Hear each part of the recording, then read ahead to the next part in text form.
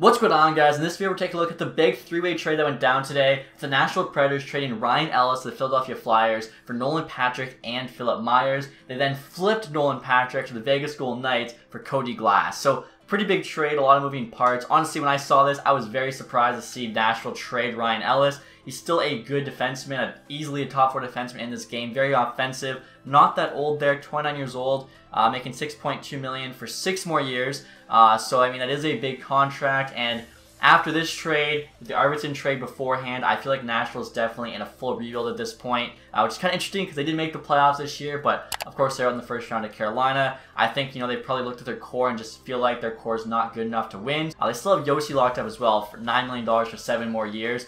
Not really sure what's going to happen there, but Ryan Ellis you guys can see in game, 2986, 6.2 for another seven years.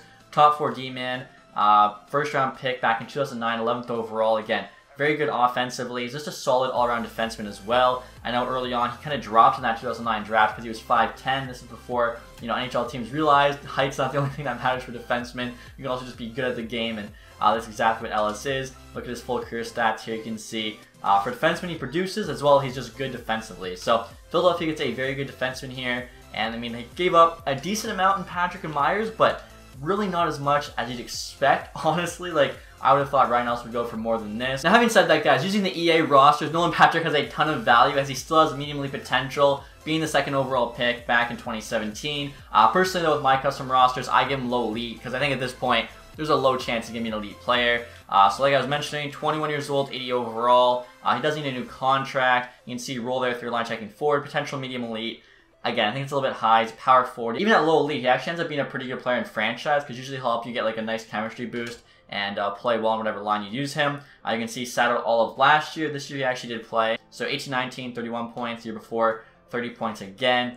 For a second overall pick, you'd hope for a bit more than that. Now they're also getting Philippe Myers. Uh, we'll see how good he is in game. Uh, so he's 23 years old, 81 overall, making 2.5 for the next three years. So pretty good contract, still young. I think I actually boosted him to like an 82 and also gave him medium top four. So maybe this will work out because I made Myers more valuable in my custom roster, Patrick less valuable, but still a Patrick being mediumly I think uh, crazy. 6'5 is a big defenseman.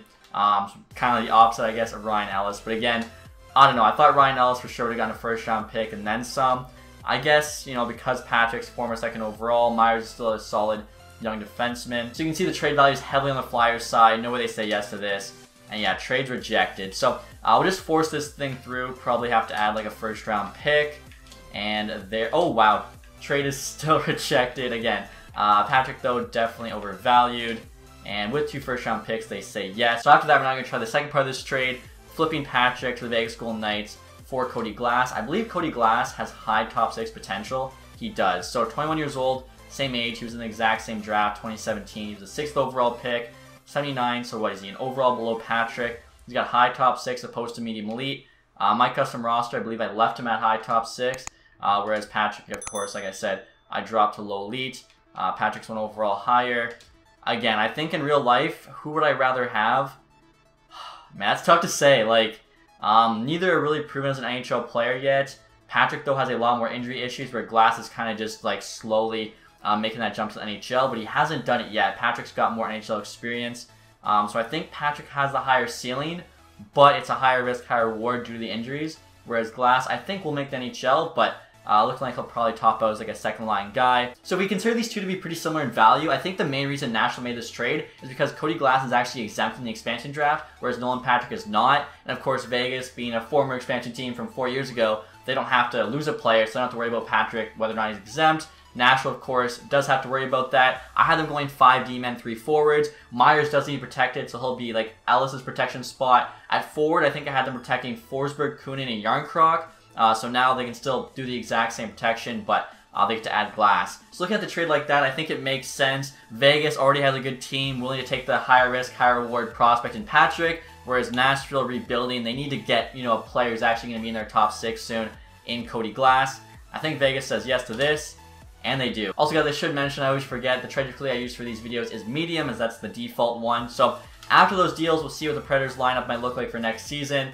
Again, I don't think it's going to be too great. Alright guys, so here's my best guess of the Preds lineup for next season. Again, this is without any signs or trades. I actually have both Haula and Granlund scratched. They're pending UFAs. I could see both of them testing the market. So In terms of forwards, I got Forsberg, Duchene, and Glass as the first line. I feel like if you're making that big trade for Glass, you gotta get him some NHL minutes, give him a chance to succeed. I've got Tomasino making the team on the second line, playing with Johansen and Tolvanen. First similar to Minnesota, I feel like Nashville's going with the youth movement. You gotta get those young guys some minutes, play them in the top six. Uh, Järnkrok, Kunin, Sissons the third line. Grimaldi, Richardson, and Cousins is the fourth line. Defensively here, we got Josi and Fabbro on the top pair. Myers, Ekholm second, and then Carrier and Benning is the bottom pair. My expansion draft protection list, I had them protecting all of their defensemen except for Benning here, so they're probably going to lose a forward. I had Duchene and Johansen both available. Is Seattle going to take on one of those guys at $8 million? I'm not sure. If they're not, maybe they go with the Sissons or something like that, but Nashville I don't know. We'll see kind of who they lose. Also, next year, I'll give you guys your first look at both Myers and Glass as a Nashville Predator. I know their game face isn't going to be any good, but we can at least, you know, see the jersey in game. So Myers there,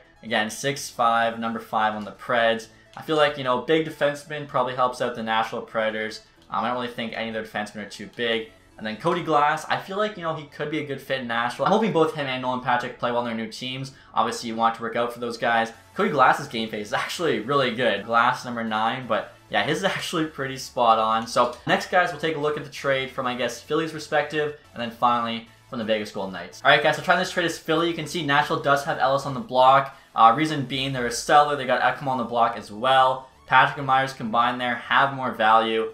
I feel like Nashville says yes to this, and they do. So very interesting. Again, uh, in game, Patrick has way too much value, but um, it's one of the things with EA rosters. So after the trade, guys, here's an update look at the Flyers line. In terms of the forwards, they're still really good, even without Patrick. I mean, you got Giroux, Couturier, Konecny in the first line. Uh, they might lose somebody like Voracek to Seattle, but they'll save a bunch of money, so, which they could then use for somebody else in free agency. So we're very curious to see what happens there. But like you look at their top nine, it is solid. Uh, fourth line, you, I think we got Morgan Frost there who could push into the top nine, maybe take one of the spots that uh, become available from Voracek or whoever Seattle picks. In terms of the defense, adding Ryan Ellis just makes their defense so much better. You now have Provorov and Ellis in the top pair, with Braun and Sanheim on the second, Gostisbehere and Hague on the bottom pair. Um, Ellis is going to obviously be protected along Provorov and Sanheim, so they're really not going to be losing that great of a defenseman. Carter Hart and Gould didn't have the greatest season last year, but he looked good before that, so hopefully for them it was just a fluke year, and he kind of returns to his old self playing well, in which case you know, the Flyers should be a playoff team. Other three teams involved in the trade, I'm not really sure which team lost the trade, but I do think that Philadelphia won the trade as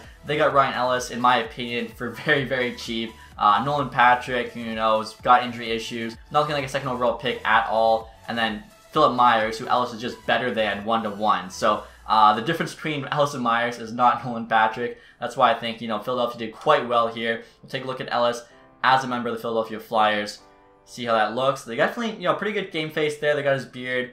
Ryan Ellis, number four on the Flyers. Again, I think he's going to fit in really well there. I think the Flyers won this trade for sure. Uh, finally, we'll take a look at the Vegas Golden Knights and see whether or not they get their Patrick or Glass trade to go through. This is kind of funny, guys. I'm trying to trade Glass the Predators for Patrick now, and Nolan Patrick actually has the most trade value of any player on the Predators, which is why EA has got to do a better job with their rosters. Forsberg there should be like the second highest behind Josi. I think I bumped him up to an 88. Uh, Josi, probably it's just because of the contract, but yeah, Patrick uh, is not the most valuable player on the Predators, so uh, they're probably going to say no to this. Yeah, trade's rejected. I kind of figured that. Again, in real life, I think quite fair trade. And so after the trade, guys, just look at the Vegas Golden Knights roster. Pacioretty, Stephenson, Stone is a good first line, but it'd be a lot better with a legit 1C, and that at that point, it'd be like one of the best first lines in hockey. Smith, Karlsson, Marchessault, of course, they're always together on that second line. I've got Peyton Krebs, Nolan Patrick, and Alex Tuch on the third line. I feel, you know, you throw a couple of the younger guys there with Tuch.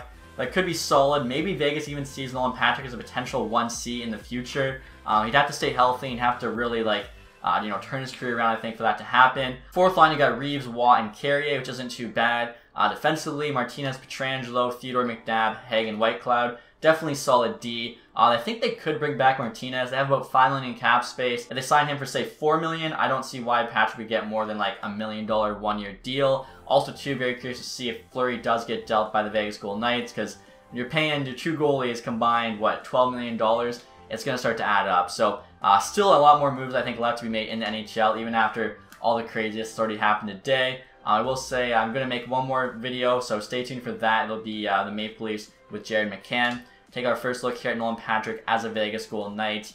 Um, his game face also, like Cody Glass, is actually pretty good. So there you go. Nolan Patrick on the Vegas Golden Knights. I actually remember him talking about going to Vegas because I think Uh, the first player that ever signed with Vegas Golden Knights was Reid Duke, who also played for the Brandon Wheat Kings, just like Nolan Patrick. So uh, kind of cool to see him going there. Um, also kind of crazy, Vegas Golden Knights have now traded all three first round picks from their first year as a franchise. Glass just got traded. Uh, Nick Suzuki, of course, for Pacioretty, and then Erik Brannstrom for Mark Stone. I feel like they definitely got good returns in Pacioretty and Stone. Is Patrick going to be a good return for Cody Glass? We'll have to wait and find out. But that's me it for this video, guys. Hopefully enjoyed it. If you did, or leave a thumbs up. If you haven't subscribed yet, hit the sub button. And as always, guys, thanks so much for watching. Have a nice day. Goodbye.